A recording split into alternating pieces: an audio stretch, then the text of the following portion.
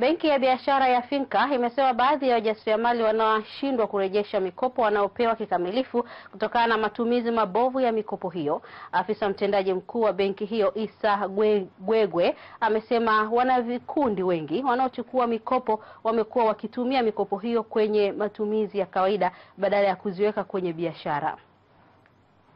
Hii mikopo inatolewa pasipokuwa na dhamana. hmm. mm.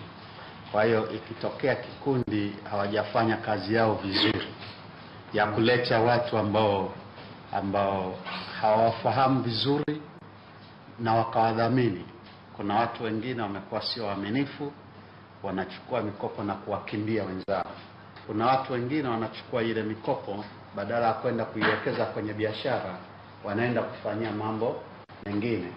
Sasa hela yote ukichukua usipeleke kwenye kuizalisha, kurejeshi na kuja na kusumbua.